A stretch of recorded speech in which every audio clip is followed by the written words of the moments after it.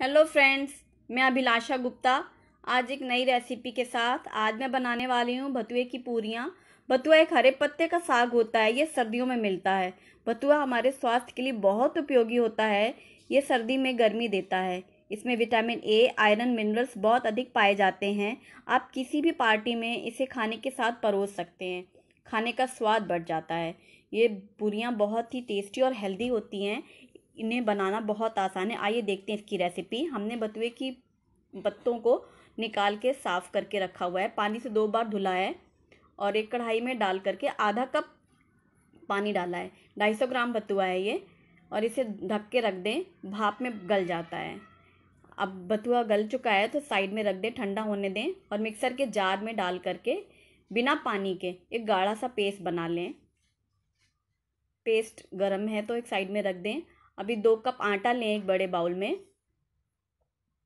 बथुए की पूरी डालें। आधा चम्मच अजवाइन, आधा चम्मच लाल मिर्ची पाउडर, करीब एक चम्मच तेल डालें और नमक अपने स्वाद के अनुसार डालें। हाथों से कड़क आटा गूँथें। पूरियों के लिए हम हमेशा कड़क आटा गूँथते हैं, जिसमें हमें परथन ना लगाना पड़े और ये तेल से गुथ जाए। अच्छे से चिकना करके आटा ढक के रख दे पाँच मिनट के लिए।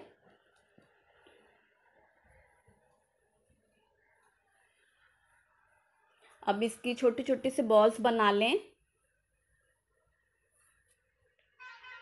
देखिए कितना चिकना आटा गूथा हुआ है, एकदम कड़क। आपको इसमें आटा लगाने की भी ज़रूरत नहीं है।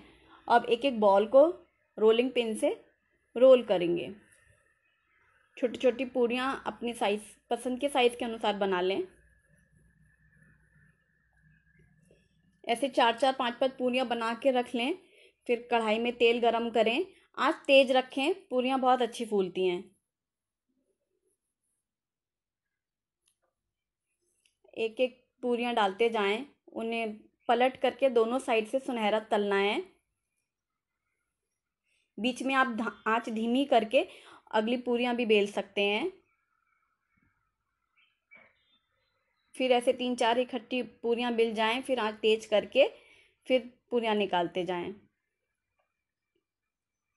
पूरियों को दोनों तरफ़ से सुनहरा सेकें।